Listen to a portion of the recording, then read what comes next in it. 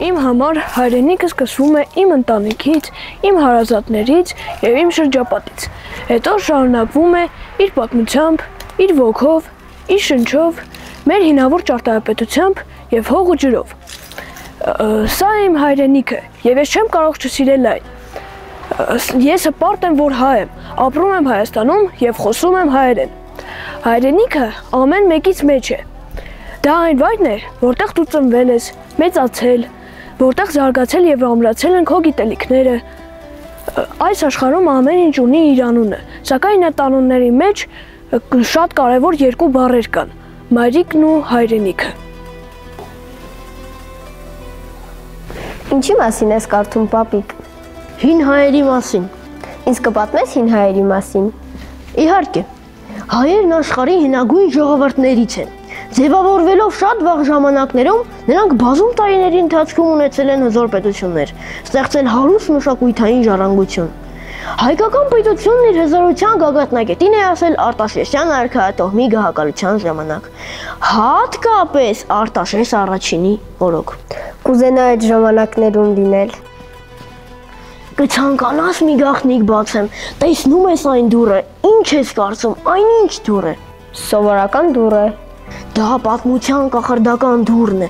Այդ դռան միջով գնում է ճանապարհորդությունների դեպի Վանի թակավորություն, Արտաշեսյանների մայրաքաղաք Արտաշատ։ Պապիկ ինձ էլ կտանես ճանապարհորդության։ Հենց այդ էլ ուզում էի առաջարկել։ Դե ինչ, գնացինք։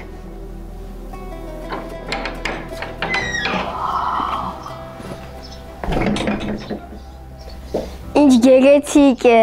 Ամենուրեք աստվածների արձաններ են։ Ինչ բարեկեցիկ են մարդիկ։ Ինչ հզոր բանակ ունեն։ Այո, մեզանից շատ տարիներ առաջ Արտաշես անունով մի արքա ունենք։ Նա իրեն համարում էր Երևանդունի, սակայն նա նոր արքայատոհմի հիմնադիր էր։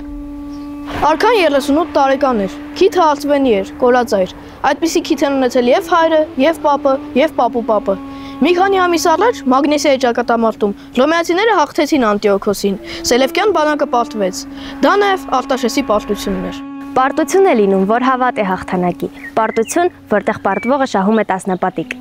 Անդիոքոսն այլևս զորություն չէր եւ մտադիր չէր նոր տեր գտնել։ Տերեր են փոխում եւ մշտապես նոր տերեր գտնում թույլերն ու վախկոտները։ Իսկ ինքն ուզում էր ինքնիշխան լինել։ Արտաշեսն արքա հրճակեց, բայց չտապես թագներ գլխին։ Պետք էր ամենամեծ աստծու Արամազդի բարեհաճությունն առնել։ Հայրն ասել էր. «Երբ գործերդ հաջող լինեն, դիմիր աստվածներին, նրանք կանրապնդեն քո հաջողությունները։ Իսկ երբ նեղն են կնես, պինդ բռնիր սրի դաստակը եւ հույսը չդնես աստվածների վրա»։ Տեր իմ, ավելի լավ է սահմանակայեր դնենք հյուսիս հարավ եւ արևելքում։ Իսկ Զարեհը, Թող այժմ նա վայելի իր թագը։ բայց հիմա, հիմա Հիմա իրեն պետք է միայն բարի խոսքեր ասել։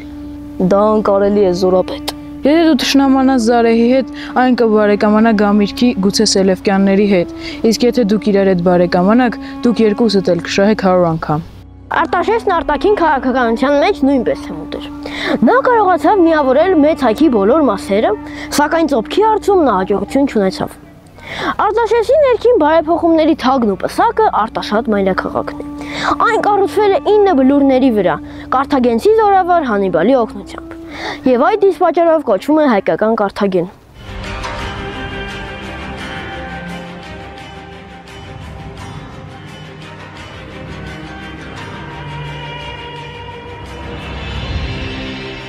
Պատրանք էր։ Ինչն է պատրանք։ Ապա նայի տես, թե ինչպես են երկու գետերն իրար միանում եւ սքանչելի դարձնում դաշտի այս մասը։ նման է թերակղզու։ Ճիշտ է, արքա, թերակղզի է։ Այսպիսի թերակղզու վրա է գտնվում իմ հայրենի քաղաք Կարթագենը։ Այնտեղ ցամաքը մեծ ծովի մեջ է մտնում խոփի նման։ Այդ խոփը անմատչելի է դարձրել Կարթագենը։ Երեք կողմից ծովն է պատնեշում, իսկ չորրորդից քարե բերթակառույցը։ Փորձիր ապա կիսախուփ աչքով նայել այս տափերականի թերակղզու ջրեզրերին։ Ջրեզրերից այն կողմ մի գնա։ Իմ համար դա կոչվում է գետեզերք, ոչ թե ծովեզերք։ Մի անգամ Արտաշեսն ու Հանիբալը ոնց էին անում տափերական դաշտում, եւ Արտաշեսը նկատում էր, որ Հանիբալը ներ չի արձակում կողքով վազող եղնիկների հետևից։ Ասես ոչ թե ոսի էր եկել, այլ ձիարշավի մեջ լիներ։ Եվ վերջապես Հանիբալը մեղմելով իր քրտնաթոր ձիու ընթացքը կանգնեցրեց այն եւ մոտեցավ արքային։ Դու մտածում ես քո աթոռա քաղաքի տեղի մասին։ Սրանից էլ լավ տեղ դու կարող ես այստեղ քո կարթագենը հիմնել։ Դու իրավացի ես, Սորապետ։ Ես անչափ շնորհակալ եմ քո խորհրդի համար։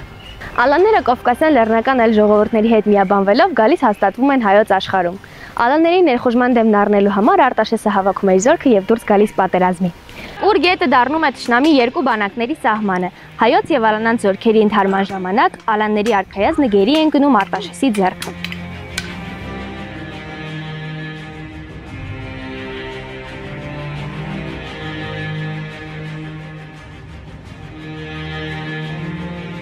Քույրը Ալանների ճկնաղ արքայադուստերը իմանալով այդ մասին գնում եւ կանգնում է Գուրգետի մեծ քարերից մեկի վրա եւ թարգմանիչների միջոցով ձայն է տալիս Արտաշեսին։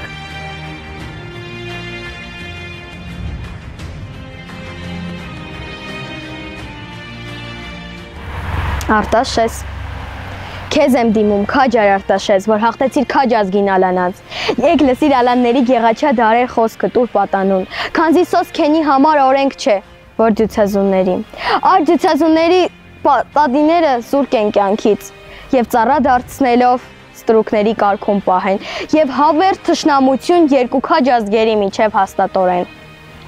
Արտաշեսը լսելով այս խոսքերը գնում է գետապ եւ տեսնելով չքնախկույսին սրտանց ցանկանում է նրան կնության առնել։ Նա կանչում է իր դայակ Սմբատին, ասում իր սրտի փափագը, եւ Սմբատը մարդ է ուղարկում Ալանների թակավորի մոտ։ Այսպիսով նա ասում է. Եվ որտեղից պիտի տա քաջ արտաշեսը հազար հազարները բյուր բյուրեր, ալանների քաջազգի կույս օրորթի փոխարեն։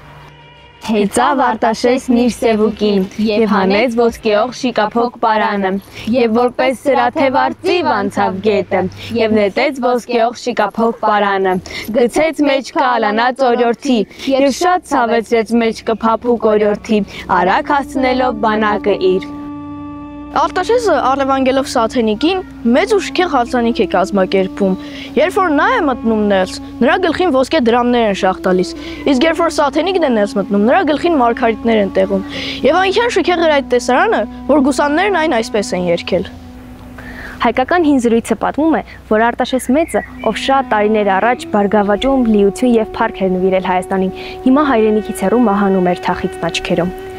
Մարդիկ Մայրաքաղաքի պատերի տակ դառն արցունք էի թափում։ Միայն իր ворթի արտավազդը ոչ մի արցունք չթափեց եւ դժգոհությամբ բացականչեց։ Նա հեռանում է մեզնից, ոնց որ ամբողջ երկին իր հետ է տանում, իսկ ինձ էլ մնում է փլատակների վրա կառաբարեմ։ Միշտ դու գնում ես եւ ամբողջ երկին քեզ հետ է տանում։ Ոնց ավերակների վրա ես կառաբարեմ։ Անիծում եմ, որ արևի մոտի քարելի պատերը փուլ կան քո գլխին։ Անիծում եմ, որ արևի լույսը երբեք չտեսնես։ Մահացող արքան լսելով այդ խոսքերը նրան օրնակի փոխարեն անեծքներ է ուղարկում։ Երբ դու ձիեցնես, որսի գնա, ազատ նիվերի մասիս։ Քաջերը քեզ բռնեն տանեն, ազատ նիվերի մասիս։ Այնտեղ մնաս եւ լույս չտեսնես։ Արդեն 2000 տարի է նա փորձում է ազատվել իր շղթաներից։ Կատաղի շները կլծում են այդ շղթաները եւ նրանք օրեցօր թուլանում են։ Եվ ժողովուրդն ասում է, որ երբ որ այդ շղթաները փոկվեն եւ արտավազդը ազատվի, այդ դեպքում աշխարհում կտիրեն չարն ու անարդարությունը։ Յուրաքանչյուր տարեմուտի երեկոյան, այսինքն նավասարդի սկզբին, դարբինները 3 անգամ կրանները հարվածում են սալին, որի հետևանքով արտավազդի շղթաները կրկնակի հաստանում են ու ամրանում, եւ արտավազդը այլևս չի կարողանում դուրս գալ քարանձավից։ Մենք բոլորս բարու կողմնակիցն ենք եւ ոչ թե չարի եւ անարդարության, այսինքն մենք բոլորս Արտաշեսն ենք։